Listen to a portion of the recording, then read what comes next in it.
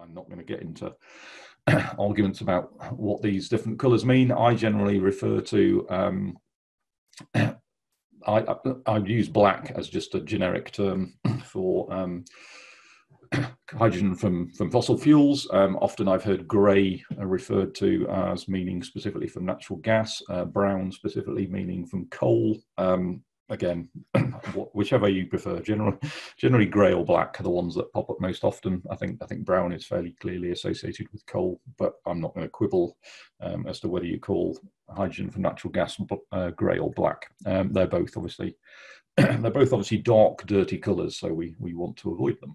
Um, so the other the other big alternative to electrolysis for nice clean hydrogen is what we call blue hydrogen. Now the blue hydrogen is effectively exactly the same process, reforming to produce hydrogen but and carbon dioxide. But now instead of letting that carbon dioxide float off and um, pollute the atmosphere, um, we store it. So carbon capture and storage.